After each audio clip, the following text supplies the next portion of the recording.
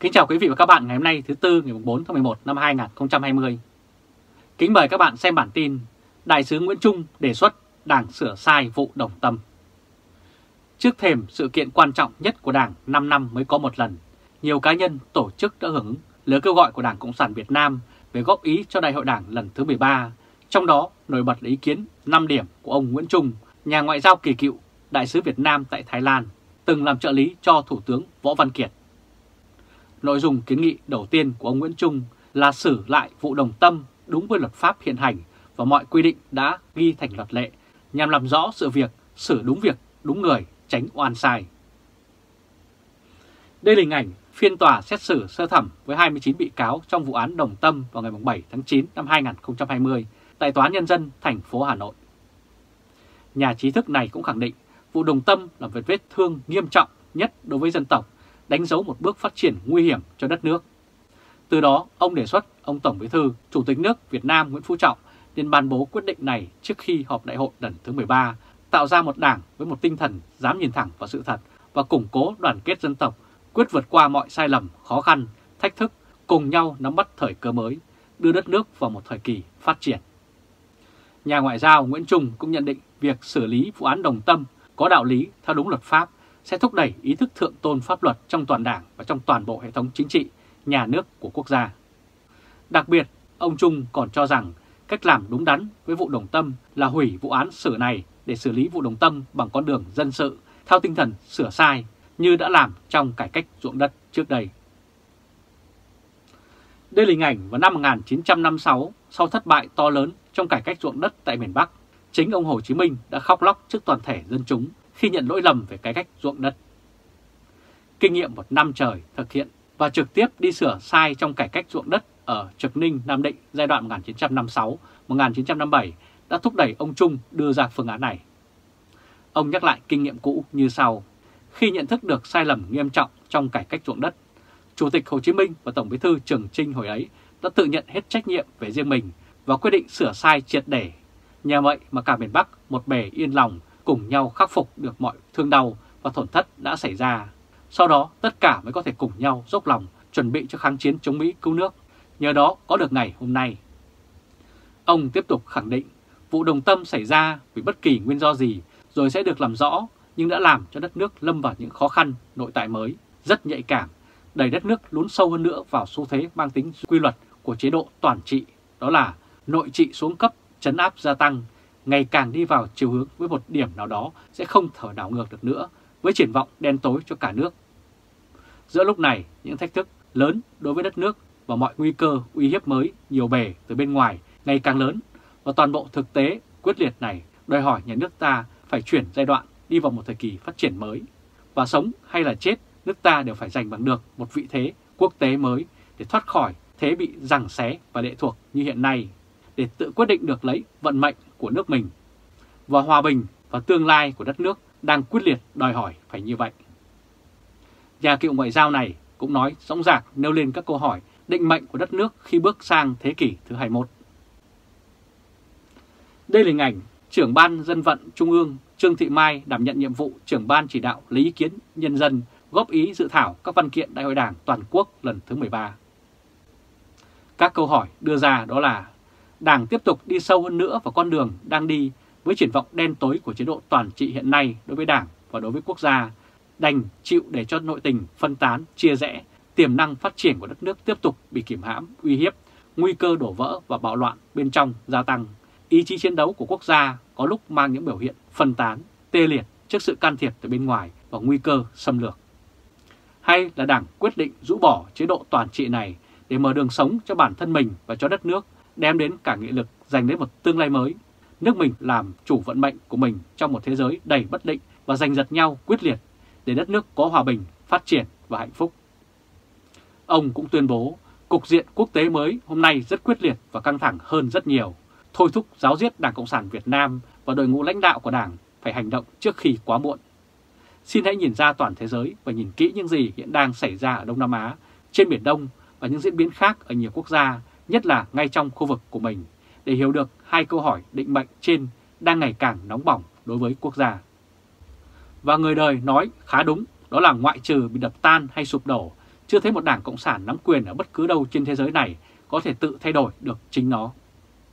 Nhưng bốn cuộc trường kỳ kháng chiến cứu nước đã đòi hỏi dân tộc phải chịu đựng những hy sinh tổn thất không lời nào nói hết mới được như hôm nay. Vì thế, dứt khoát phải làm mọi việc chặn đứng cho đất nước ta nguy cơ có một cuộc bể dâu mới sẽ lại cướp đi tất cả để quyết khai phá con đường sống cho đất nước và cũng là con đường ưu tiên cho sự nghiệp của Đảng.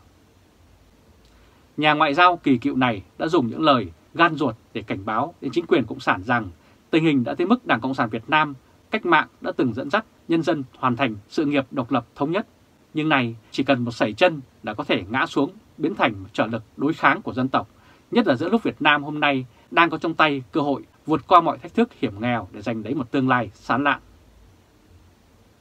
Đây là hình ảnh ông Tổng Bí thư Chủ tịch nước Việt Nam Nguyễn Phú Trọng phát biểu tại hội nghị lần thứ 13 của Ban chấp hành Trung ương Đảng khóa 12.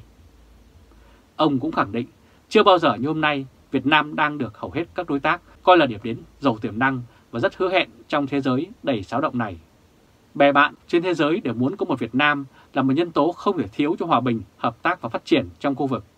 Vì thế, hơn bao giờ hết, lãnh đạo đảng phải chắt chiêu từng cơ may nhỏ nhất, hội tụ mọi khát vọng cháy bỏng của nhân dân cả nước, biến thành sức mạnh đổi mới và đất nước này.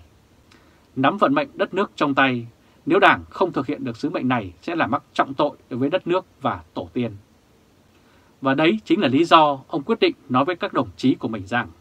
dựa vào trí tuệ và ý chí của cả nước với tất cả các bản lãnh lãnh đạo của mình, các đồng chí phải có gan lựa chọn cho đất nước phương án sửa sai vụ đồng tâm, chặn đứng xu thế diễn biến cực kỳ nguy hiểm, độc tài toàn trị, để từ điểm nhấn dám sửa này, Đảng thực hiện bước đột phá. Đó là phát huy dân chủ, giải phóng sức mạnh cả nước, mở ra một bước ngoặt chiến lược cứu nước, cứu Đảng trong tình hình nguy hiểm mọi bể như hôm nay, đưa đất nước đi vào một thời kỳ phát triển mới. Đảng phải chủ động làm như thế mới đúng là lãnh đạo, sẽ được lòng dân cổ vũ cho cái tốt trong toàn đảng và chắc chắn bạn bè và thế giới sẽ hoan nghênh hậu thuẫn. Đất nước sẽ chỉ mất đi sự lệ thuộc, cái yếu kém và tiêu cực. Có bản lĩnh thì phải quyết biến nguy cơ thành thời cơ như vậy. Chứ không phải là ngoan cố đối phó bằng cách tăng cường bắt bớ và độc đoán hơn nữa như đang diễn ra.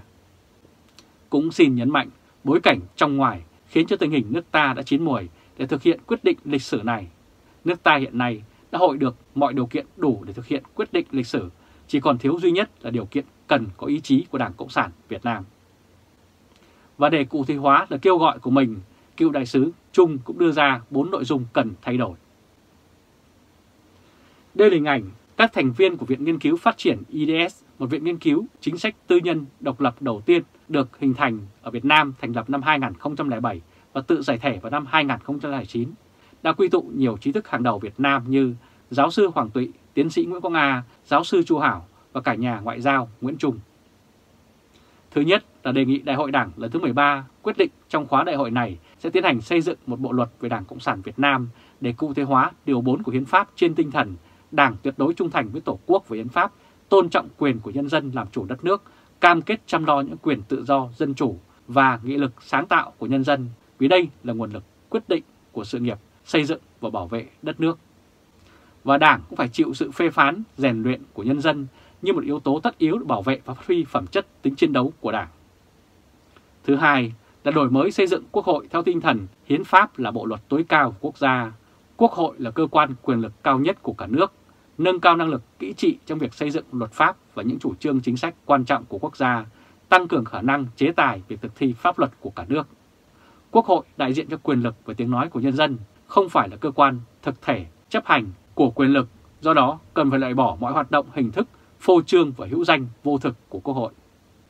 Thứ ba là đề nghị Đảng và Quốc hội và Chính phủ dành sự quan tâm đặc biệt cho những ý kiến, kiến nghị và con đường phát triển của Việt Nam về đổi mới cơ cấu kinh tế và thể chế vận hành quốc gia thời cách mạng công nghiệp 4.0. Những cải cách kinh tế và chính trị phải làm dân nghiệp Việt Nam là học giả, các nhà kinh tế và các nhà kinh doanh sống ở trong và ngoài nước, huy động trí tuệ cả nước và hiện tại lập ra một loại hình để trao đổi thường xuyên cho nhiệm vụ nghiên cứu và xây dựng chiến lược chung và những chiến lược từng lĩnh vực. Những nhiệm vụ phải thực hiện cho việc mở ra một thời kỳ phát triển mới của đất nước, đáp ứng được những đòi hỏi và thách thức của tình hình nhiệm vụ mới. Thứ tư là về đối ngoại nên quán triệt phương châm cần xây dựng một nền nội trị vững mạnh và kiên cường làm nền tảng cho một nền ngoại giao dấn thân vì lợi ích quốc gia và vì trách nhiệm phải có của một nước thành viên có bản lĩnh và được tôn trọng trong cộng đồng các quốc gia trên thế giới.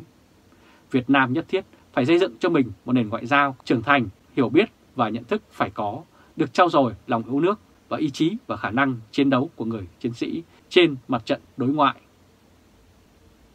Quý vị và các bạn vừa theo dõi chương trình truyền hình trực tiếp của Lê Trung Khoa, Thời báo chấm ngày hôm nay thứ Tư ngày 4 tháng 11 năm 2020 với bản tin Đại sứ Nguyễn Trung đề xuất Đảng sửa sai vụ đồng tâm.